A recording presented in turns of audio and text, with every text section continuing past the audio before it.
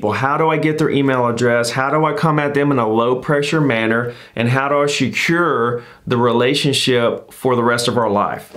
Very simple. And then once you have the email address, this is a real client. This is a real email address. This is everything about this is 110% real. Today I'm going to show you how I've developed an email database of over 5,000 property owners in my market and I've taken that database and for the last 2 years I've made over a million dollars a year as a single agent.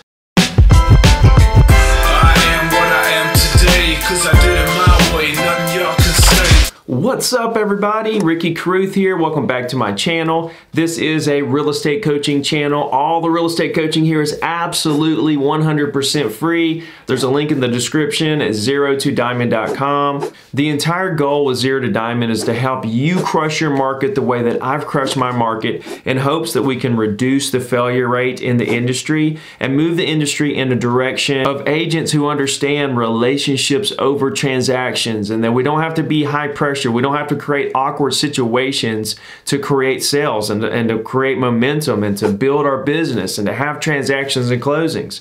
We can do this in a low pressure way. We can actually be friendly, help people. You know, when you have the right intent to actually help people, so many good things come.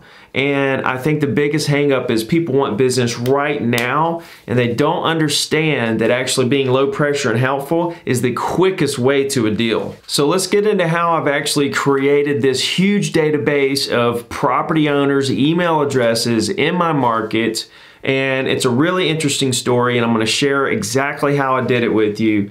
First, I want you to understand why I want the email addresses, okay? There's many, many reasons. Um, the first reason is I like to do a weekly email. I've been doing a weekly email every single Wednesday since 2007. And that email, the consistency of it shows them how hardworking I am, how professional, how knowledgeable, how active I am in the market. And it just kind of does all the heavy lifting for me to build that relationship deeper and deeper and deeper uh, over across a huge volume of clients. Okay, I can't call 5,000 people back and see how they're doing and check on them and all that. You cannot call that many past clients back, but you can send them a weekly email every single week on the same day of the week forever and show them through that how much you care, how much, how hard you're working and all that good stuff. So I also develop the email every week. I think that's a big, big key to my success because it's not just your generic automation, uh, you know, uh, a CRM that's just sending out this email that is not necessarily exactly what the client wants to see. The client wants to see a real data in real time and they want to see a little bit of you. They want to see a little bit of personality in the email, and that's what's going to separate your email from all the other agents. Okay, so it's a big, big key to my success. And if you want to do an email like mine, there's a link in the description there. You can get started with Constant Contact. Uh, they'll reach out to you. Just tell them you want a template exactly like Ricky's and they will create it for you. Then you can just plug all your stuff in there and go. It's really simple. So the way that I get these emails is not easy. It takes a lot of work, but it is so worth it because once you get the email, it's the highest quality email that you could possibly have. So the way that I get email addresses of property owners in my area is by cold calling them. Now I know that's like a bad word and everybody hates that and you know it doesn't sound very fun and but the truth is, it is a lot of fun. If you go back, I have several videos on this channel of me making live calls, and I'm going to do lots more live call sessions in the future. So if you haven't subscribed, now would be a good time. But cold calling is something that everybody's scared of, but I'm telling you right now that it's the only way to exponentially, very fast, grow your business. Uh, there's no other way in my mind that you can grow at such a speed, okay? Because this is a people business, this is a quality business, this is a voice to voice business. The reason why technology has not replaced real estate agents up to this point is because they cannot replace the voice to voice interaction that needs to happen, the consultation between the client and the agent. Um, every market's different. I can't go to a market an hour or two away and, go there and, and know what I'm talking about, talk to clients, you know, and educate them on subdivisions and price per square foot and all that stuff. It would be foreign to me. It would be like a whole different language to me, even though I'm a specialist in my market. Okay, this dynamic of the local markets being so different adds so much value to the real estate agent. You need a local expert to consult you through the transaction. And a lot of times these transactions are the biggest transaction of someone's life. And they don't need to do it themselves. They need to hand it over to a professional and get some help through this transaction. So cold calling, voice to voice, creating lifelong relationships is key, period. So if you do this correctly, and you do it with a low pressure approach like I do in my phone scripts and through that I'm teaching my coaching students at zerotodiamond.com, what happens is a very special thing right? Most agents live off less than 1% of prospects they talk to that's ready to do a deal today, the first time they talk to them. Okay, but what I find far more interesting than the less than 1% is the 20 to 30%. Okay, you got less than 1% or you have 20 to 30% of people you talk to who actually like you enough to do a deal, they're just not ready yet. Okay, if you can capture that 20 to 30% of people for the future when they decide they're ready to buy or sell something, look at where your business is going to be in the next six months to a year, two, three, four, five, ten years. It's going to be enormous. And that's what I've developed. Okay, I'm 16 years in the business. Okay, and after about eight years, I lost everything and I realized relationships over transactions. And that's when I flipped my entire strategy from trying to do deals to actually just trying to build relationships with people. And what happened is an incredible thing. I started closing more deals immediately. Okay, this is how you get now business. So what do I do when I call these people? How do I get their email address? How do I come at them in a low pressure manner? And how do I secure the relationship for the rest of our life? Very simple. Okay, you can go back and watch any of my cold calling videos. You can watch my, my videos on my scripts, and I go into detail about my scripts, what I say, how I say it, the tone, the, the speed, all that good stuff. But basically, I'm gonna call, I'm gonna see how they're doing.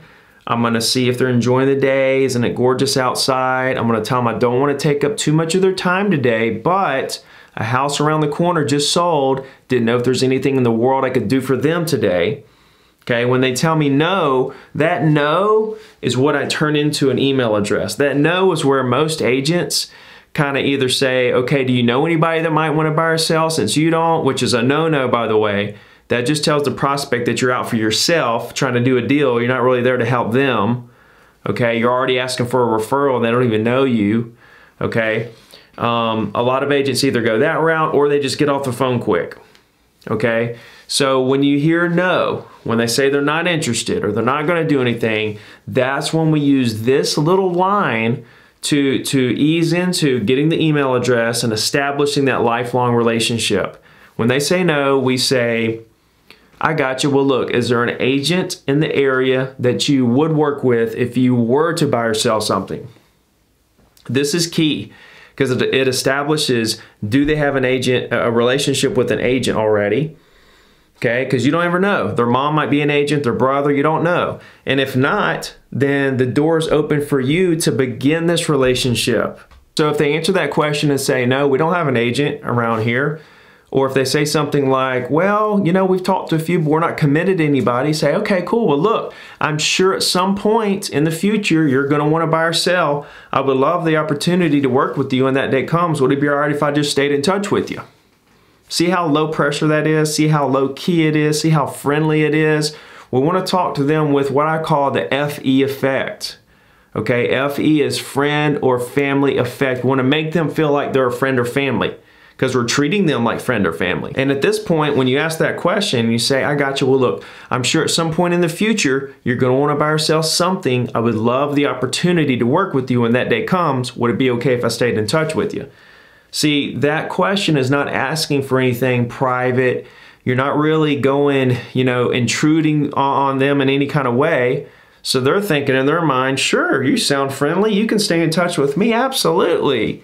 You know, they're thinking they're probably, we're going to send them postcards. We're going to call them from time to time. You know, I don't know what they're thinking, but they're not thinking anything, you know, intrusive at this point.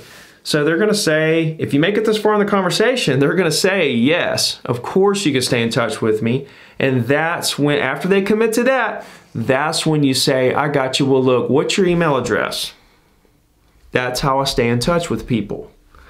Okay, so that's how you do it. You follow the script, you do it exactly the way I have it laid out for you, and then you ask for the email address. Now, a couple things I don't want you to do. I don't want you to say, I'm gonna put you on my you know, weekly email list. I don't want you to say, can I start sending you reports? Can I start doing this? Can I start doing that? Um, whatever the case may be, I want you to stay, say, I want to stay in touch with you. You know, what's your email? I want to stay in touch with you. If they say, no, I don't think so, say, listen, I understand what you I understand, but here's the deal. I'm not going to spam you or anything like that. I just want the opportunity to stay in touch with you. And that's how I do it through email. No big deal.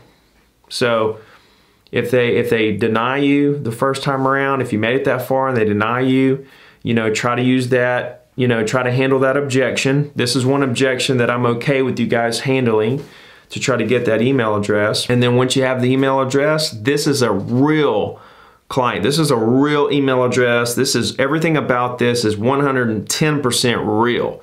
Okay, it's somebody you've talked to. Okay, they've heard your voice. You get along. They they thought you were nice enough and trustworthy enough to give you their email address. This is real. Okay, this is an internet lead that you got, you know, an automatic lead from somewhere you know, this isn't, you know, email that you bought. This is this is this is somebody you talked to and your personalities matched up in such a way that they trusted you enough to give you their email address. Okay? That's powerful. And that's how I've developed my database and that's why I've had so much success out of my email database is because it's such high quality because I've actually talked to every single one of them. Then they start getting this weekly email and they start to realize this guy is the real deal. Okay, he's so consistent. He's the hardest working working agent I know. Okay, he's knowledgeable. He sends me all the best information, and it doesn't look like anybody else's email. I hope this helps you uh, with getting property owners' email addresses, and you can see the the strategy behind what I'm doing, why I'm doing it, and it's a short and long term play. I mean, you know, you, you do get business now, but most of the people you talk to are going to do business later. But here's the thing, you're talking to them anyway. Why not capture them for that deal later? Because when that deal does come around, you're going to be glad you did. And when you get to a point where you're doing 100 deals a year for the last five years straight, you're really going to be glad you did. So, like I said, I hope that really helps you. Um, if there's anything I can do for you, if you have any questions, just hit them up in the comments below. I answer every single comment, and I'm here if there's anything in the world I could do for you guys. We'll talk to you soon.